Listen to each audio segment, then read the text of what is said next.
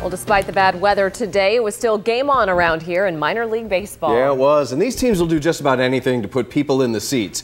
We have the story of one promotion that still has some legs. Yeah, you could say that. CBS 21 News sports director Jason Bristol joins us live in the studio tonight. So, Jason, does it involve a local team? Well, guys, it does now. Part of the story was supposed to be made into a movie. For some reason, though, it just never got off the ground. Okay, so it didn't go Hollywood, but one of the main characters involved is now living and playing in York. It's a shame that old racehorses can't go into broadcasting or sign book deals because this one has a great story to tell.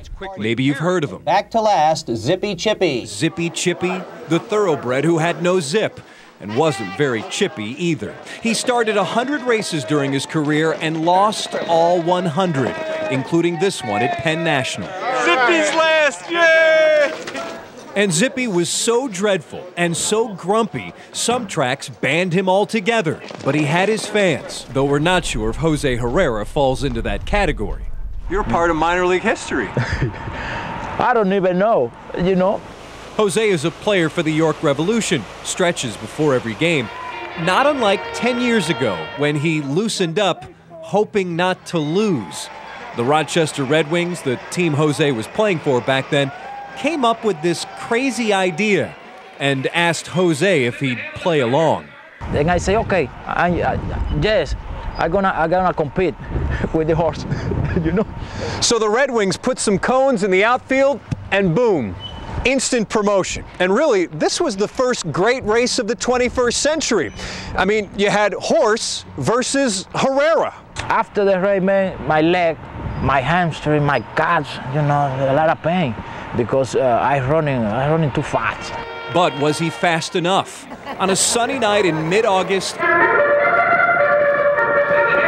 it finally happened. Jose left the line like a track star, and Zippy stalled like an old truck. The race was over in seconds. Zippy had lost again. And I beat it. I tell you. I tell you, guy, I beat it. Zippy's owner had a slightly different opinion. I think he let Jose win that way he can feel good. That's the way he is. Still, Jose felt even better when he was carried off the field like a hero. Not sure if that was necessary since the horse's career wins equaled zero. I don't expect that. They they holding me and jumping me like a, like a we won the, the championship something. You know, yeah, that's a good moment. You know. And what happened to that gelding that never got to the winner's circle? Well, just last month, Zippy was brought to a retirement home for horses near Saratoga, New York. There he eats and plays and is a four legged tourist attraction. It's sort of like having a movie star move in that I have access to and can go play around with and feed him mints and take his picture and, and just enjoy. In other words, this lovable loser is still loved. And while Zippy has stopped racing, Jose Herrera keeps going even though he's now 37. So you could say that Jose has beaten Zippy Chippy once again. And Zippy later raced two other players from the Red Wings and beat both of them. That's right, he won, including Darnell McDonald, who now plays for the Boston Red Sox. McDonald actually wants a rematch now for charity. I asked Jose if he'd be interested in racing Zippy Chippy again. He told me no. Jose is too old now. Jason Bristol, CBS 21 News.